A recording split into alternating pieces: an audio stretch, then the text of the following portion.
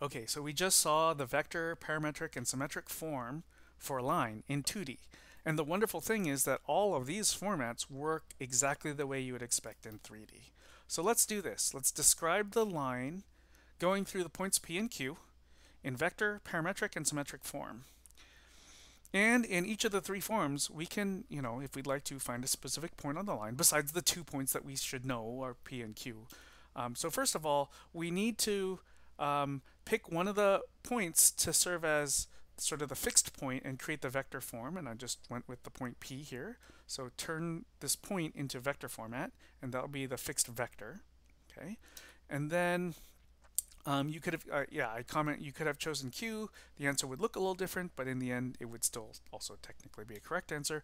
We also need a vector then that points in the direction of the line, right? If you move along a line, it's like a line is, you know, what is a line? It's in a sense it's a laser pointer. I mean, I guess that's more of a ray because it doesn't go infinitely in the other direction.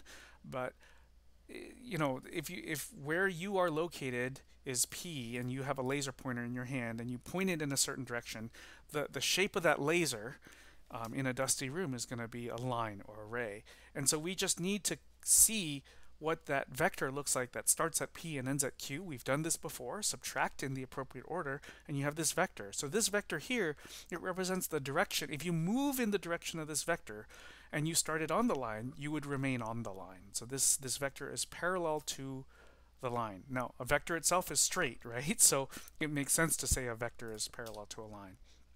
So then what we do following the format was take the fixed vector, add t times the direction vector, and that is a valid format to describe a line now. It's just whatever vector you get uh, when you plug in a different value of t would correspond to a different point on the line. Okay, we could write this again with the of t format here as well. For instance, now to try to answer this thing about uh, finding a specific point on the line, by picking, for instance, t equals 10, you end up getting this vector here. So negative 68, 49, 37, now in round parentheses, that is a specific point on the line, besides these two points that we already knew of. Okay, so uh, to get the other formats um, from this vector version, if we just take each of the three components and make them the x, y, and the z formulas, that's the parametric form. That's great. Like you don't have to really do much work at all. And now to get a specific point, I just picked a random value for t. I just happen to pick t equals 2, and I get x is negative 12 and y is 9 and z is 13. So therefore, negative 12, 9, 13 is uh, yet another point on the line. And if we take the three equations, the three parametric form equations up here and solve for t in each of these, we can set all three of these equal to each other, and this is called the symmetric form. So, interactive question, I'd like you to strategize more than anything. There's not one right answer to this. There's probably lots of ways to attack this. But if you were given this symmetric form, how would you uh, come up with a point on the line? I mean, describe it in a very recipe-like format.